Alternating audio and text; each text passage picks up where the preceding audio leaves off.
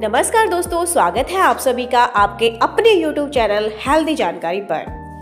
हम लेकर हाजिर हैं आप सभी के लिए नई व बेहतरीन हेल्थ से जुड़ी जानकारी। दोस्तों, इसके लिए आप वीडियो के अंत तक बने रहें व वीडियो में बताई गई जानकारी का भरपूर लाभ उठाएँ। और अगर आप चैनल पर नए हैं या अभी तक आपने चैनल सब्सक्राइब नहीं किया है तो चैनल को ज़रूर सब्सक्राइब कर लें।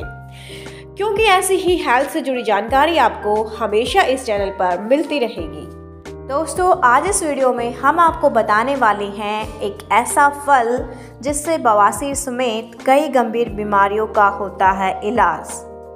क्या आपने कभी निरंजन फल का नाम सुना है? शायद आप अभी तक निरंजन फल के आयुर्वेदिक गुणों से अनजान होंगे।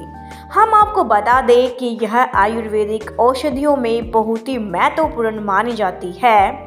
ये पूरी तरह से कच्ची जड़ी बूटी होती है, जिसका उपयोग धोकर अच्छी तरह सुखा लेने के बाद किया जाता है। खास बात यह है कि आप इस फल का उपयोग छः माह तक भी कर सकते हैं। निरंजन फल से कई गंभीर बीमारियों का इलाज भी संभव है। दोस्तों, आइए आपको इस बारे में पूरी जानकारी देते हैं। नंबर एक, बवासीर का उपचार। आजकल कई लोग बवासीर की समस्या से परेशान हैं। इस समस्या को दूर करने के लिए मरीज़ रात को सोते समय एक निरंजन फल आधे गिलास पानी में भिगोकर रख दें।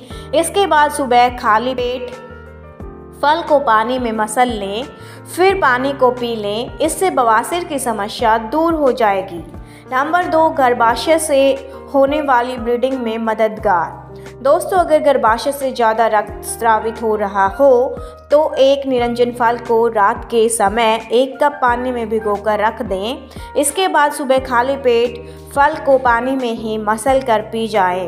नंबर तीन, अल्सर की समस्या में है लाभकारी। दोस्तों, अल्सर से पीड़ित व्यक्ति को निरंजन फल खाना चाहिए। इससे परेशानी को काफ़ी हद तक आराम मिलता है। नंबर चार, घाव को करे सही। दोस्तों, निरंजन फल घाव, कट और खरोच को सही करता है। नंबर पाँच, पेट की समस्याओं के लिए है लाभकारी। निरंजन फल पेट से जुड़ी बीमारियों, सूजन, कब्ज और अपच के इलाज में काफ़ी कारगर होता है। नंबर छः वज़न घटाने में है लाभकारी। इस फल में मालवा नट प्रोटीन, फाइबर, आयरन, पोटेशियम और कैल्शियम जैसे तत्व पाए जाते हैं, जो स्वस्थ वज़न बनाए रखने में मदद करते हैं। दोस्तों, यहाँ पर हमने जाना निरंजन फल के फ़ायदे। आगे जानते हैं कैसे करें निरंजन फल का इस्तेमाल। दोस्तों, जब आप घर पर निरंजन फल को खरीद कर लाएँ तो सबसे पहले अच्छी तरह से धो लें। इसके बाद शीशे या स्टील के एक एयर टाइट जार में रखें। इससे फल जल्दी नहीं खराब होगा। बता दें कि इस आयुर्वेदिक औषधि का इस्तेमाल डेकोटेशन पर्पस या फिर पाउडर के रूप में भी किया जा सकता है।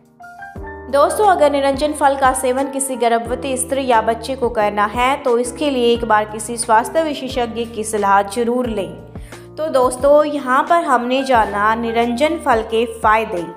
आपको जानकारी कैसी लगी, हमें कमेंट करके ज़रूर बताएँ। दोस्तों, जल्द ही मिलते हैं एक नई हाल से जुड़ी जानकारी के साथ।